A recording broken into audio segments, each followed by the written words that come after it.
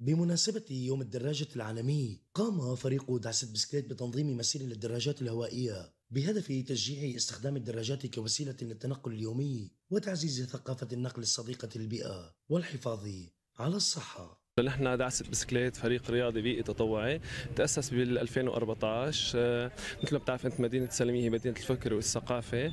فنحن حاولنا ننطلق من مدينة السلمية ونتوزع بكافة المحافظات السورية. في عندنا فرع بمدينة حمص واللاذقية وطرطوس وحلب.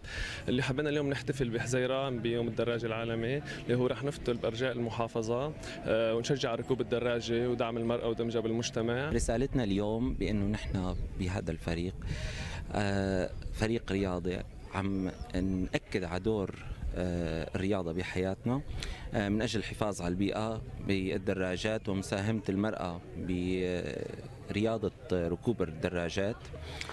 كمان عم ندعي للسلام هون بهالمسير بيوم الدراجات العالمي. نحن قمنا بهذا النشاط لدعم ركوب الدراجات أهمية البيئة والحفاظ عليها ولكسر الحاجز من أجل ركوب الدراجة للمرأة.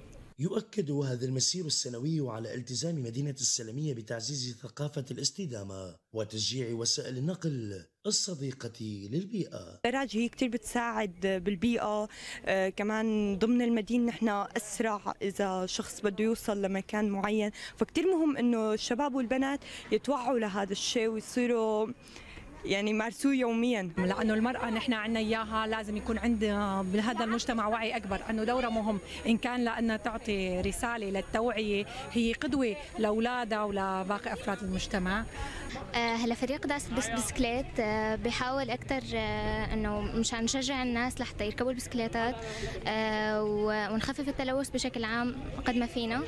ومشان يعني بصير سهولة أكثر كيف العالم فيها مثلا تروح على الأماكن اللي بدها إياها أو اليوم هي رياضة كثير مهمة بالنسبة لنا وخاصة بالحياة الشبه يومية بين نقطة نقطة نقل بين بين المدينة وخاصة هلأ عندنا نحن أزمة بالمحروقات.